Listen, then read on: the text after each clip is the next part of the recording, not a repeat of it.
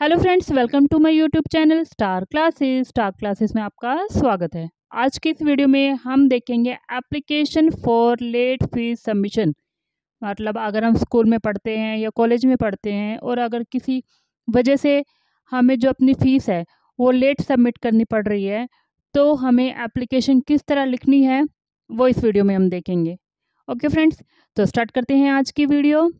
सबसे पहले हम लिखेंगे टू। कोमा टू के बाद नीचे वाली लाइन में हम लिखेंगे प्रिंसिपल, द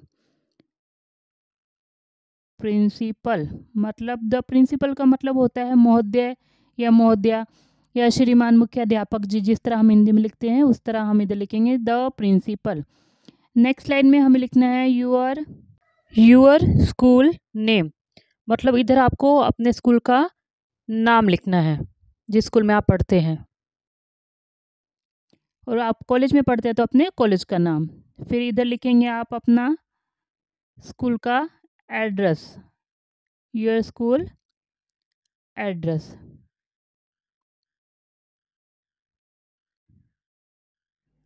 ये आपको लिखना है। उसके बाद हम एक लाइन छोड़ेंगे और फिर हम लिखेंगे सब्जेक्ट। सब्जेक्ट मतलब विषय। एप्लीकेशन पे सब्जेक्ट लिखना ज़रूरी होता है तो हम इधर लिखेंगे।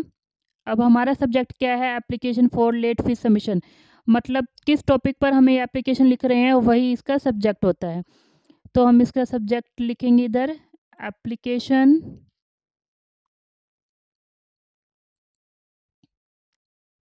for late fee submission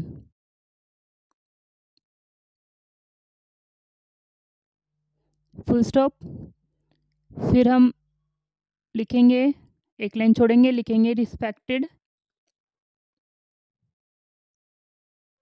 respected sir या फिर रिस्पेक्टेड मैडम मतलब आदरणीय श्रीमान जी या श्रीमती जी। ये हम लिखेंगे। फिर हम यहाँ से स्टार्ट करेंगे with due respect with due respect i beg to say that with due respect मतलब बहुत ही आदर के साथ या आदर के साथ I beg to say that मैं ये कहना चाहता हूँ या ये मैं मैं ये कहना चाहती हूँ। आई एम आई एम मतलब मैं हूँ अ स्टूडेंट एक स्टूडेंट ऑफ़ क्लास कौन सी क्लास के आप स्टूडेंट है वो इधर आपको लिखना है? Of your school? मैं बहुत ही आदर के साथ या आदर के साथ मैं ये कहना चाहता हूँ कि मैं आपके स्कूल में कक्षा, जो सी क्लास में आप पढ़ते हैं, वो आप इधर लिखेंगे। का छात्र हूँ या छात्रा हूँ? I have not paid my school fees for the month of कौन से मंथ की फ़ीस आपने जमा नहीं करवाई, वो आपको इधर लिखना है। Then full stop this delay has been due to the illness of my father and some financial problems.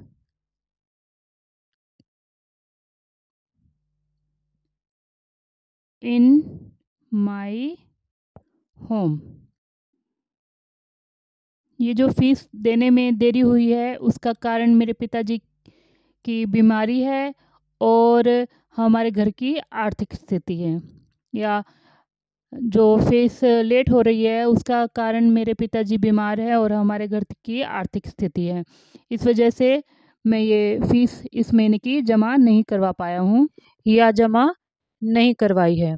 उसके बाद हम नीचे लिखेंगे, देयर फोर। देयर फोर मतलब इसलिए। Therefore I, therefore मतलब इसलिए I request you to I request you to kindly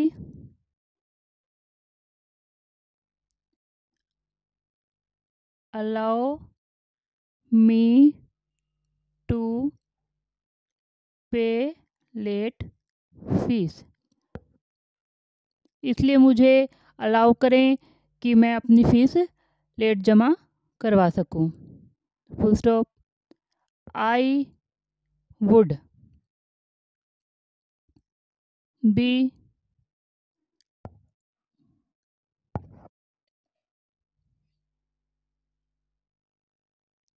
grateful if you consider my request मैं आपका बहुत आभारी रहूँगा अगर आप जो मेरी विनती है या जो मेरा अनुरा, अनुरोध है उस पर विचार करेंगे तो मैं आपका बहुत आभारी रहूँगा। Therefore I request you to kindly allow me to pay late fees इसलिए मैं आपसे रिक्वेस्ट करता हूँ कि प्लीज़ मुझे लेट फ़ीस जमा करने के लिए परमिशन दें। I would be grateful if you consider my request मैं आपका आभारी रहूँगा अगर आप मेरे अनुरोध पर विचार करेंगे। Okay okay? उसके बाद हम लिखेंगे थैंकिंग यू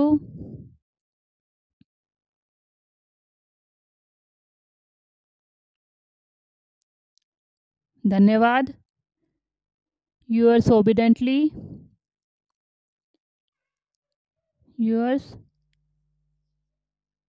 obediently आपका आज्ञाकारी। इधर आप लिखेंगे अपना नाम, अपनी क्लास अपना रोल नंबर और डेट किस दिन आप ये एप्लीकेशन सबमिट करें वो इधर लिखेंगे। यहाँ पे यूअर्स ओबिडेंटली का मतलब होता है आपका आज्ञाकारी। ओके तो हिंदी में जब हम एप्लीकेशन लिखते हैं तो लड़के लिखते हैं, आपका आज्ञाकारी, लड़कियाँ लिखती हैं, आपकी आज्ञाकारी नहीं बट इंग्लिश में दोनों को यही लिखना है। आप इसकी जगह पर यूअर्स फेयरफुली भी लिख सकते हैं।